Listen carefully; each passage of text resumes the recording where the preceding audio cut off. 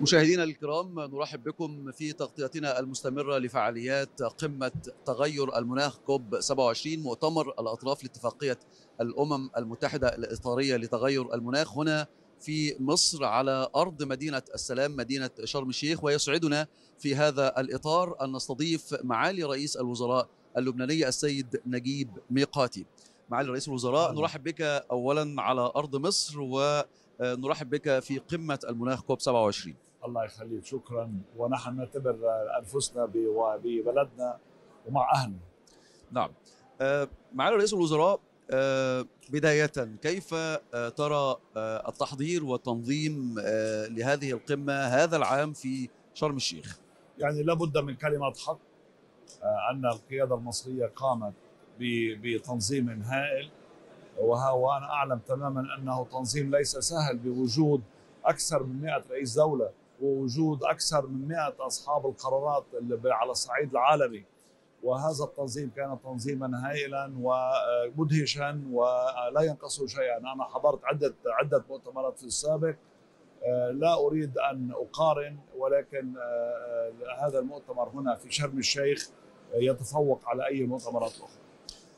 أجندة القمة تحمل العديد من التحديات التي يمر بها كوكبنا. كوكب الأرض تتمثل في أزمات متعددة، أزمة اقتصادية وأزمة تغير مناخ وأزمات سياسية أيضا، ولبنان من الدول التي تعاني كثيرا من هذه الأزمات على وجه التحديد. إذا تحدثنا مبدئيا عن أزمة الطاقة والآن هناك جلسة لمستقبل الطاقة في كوكبنا مع تغير المناخ، كيف يمكن مواجهة هذه الأزمة في رؤية الحكومة اللبنانية؟ يعني مما لا شك أن في هذه الظروف كما تفضلت وتحدثت عن الظروف الاجتماعية والاقتصادية البعض يعتقد أن ربما البيئة تكون أمر ثانوي ولكن بعد نشر هذا الوعي عن أن البيئة البيئة موضوع أساسي وإذا لم نلاحق موضوع البيئة منذ الآن سنكون في العقد القادم في في في أوضاع سيئة جدا من حيث حرارة الانحباس الحراري وزياده حرارة الأرض وكل هذه الموضوع ستؤدي إلى مشاكل كثيرة. فنحن اليوم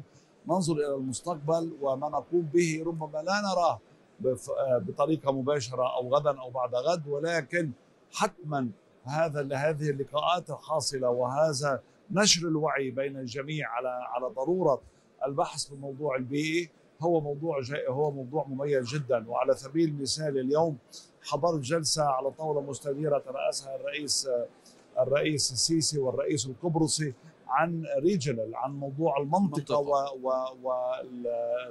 وموضوع ال climate المناخ في المنطقة. نعم مبادره الشرق الأوسط للمناخ. فبالتالي لاحظت كم كم هذا الأمر هام جدا حتى لدرجة لاحظت ان أن الطرح القبرصي أيضا تعرض تطرق إلى عدة بلدان ومنها مدينة بيروت حيث كيف ننتظر أن تكون بعد 2030 وعلينا فأقولها بصراحة الحس الوطني عندنا علينا أن نتعاون جميعا لما فيه التعاون لما فيه المحافظة على على البيئة وبنفس الوقت المحافظة كيف يمكن أن نتفادى هذه الحرارة الزيادة المنتظرة في في الأعوام القادمة. سيد ميقاتي هناك دراسة اجراها اجرتها برنامج الأمم المتحدة الإنمائي لعام 2021 تتضمن ثلاث خطط لبنانية لمواجهة تغير المناخ، ماذا حدث حتى الآن في هذه الخطط؟ نحن نحن كدولة لبنانية تحدثت في في كوب 26 واليوم سأتحدث نحن متعاونون متعاونون بكل ما الكلمة معنا مع الجميع ونحن نلتزم بتنفيذ كل هذه التطبيقات لأننا في الوقت الحاضر ليس باستطاعتنا الاتكاء على أنفسنا على أمام أزمات متلاحقه في لبنان ولكن نحن على اتصالات دولية وعلى ملاحقة أيضا مع الوكالات الدولية لكي لكي نستعين بها ونطبق ما يجب تطبيقه فورا. أزمة الطاقة هناك بعض الدول الكبرى التي تعاني من أزمة في الطاقة تفكر في العودة إلى الوقود الأحفوري أعتقد أن الطاقة البديلة هي اليوم هي هي الأساس ويجب أن نبحث بها لأنه كفى انبعاثات انبعاثات مسمة في الأجواء وهذه الانبعاثات ستؤدي إلى إلى إلى انعكاسات صحية أيضا. فبالتالي اليوم الطاقة البديلة والطاقة الشمسية والطاقات كلها البديلة التي تبحث هي الطاقة المجدية أعتقد في المستقبل القريب. سيد ميقاتي وأنت رجل اقتصاد من الدرجة الأولى هناك فجوة كبيرة ما بين تعهد الدول المتقدمة بمساعدة وتمويل الدول النامية للتكيف على مع آثار تغير المناخ وما بين آه، ما ينفذ أو ما نفذ حتى الآن من تعهدات. يعني إذا كانت تعتقد لبعض الدول ما سميتها الغنية ولا تتطلع إلى الدول التي هي بحاجة لدعم فه- فهي ليست بمنأى لأنه سينعكس عليها فورا.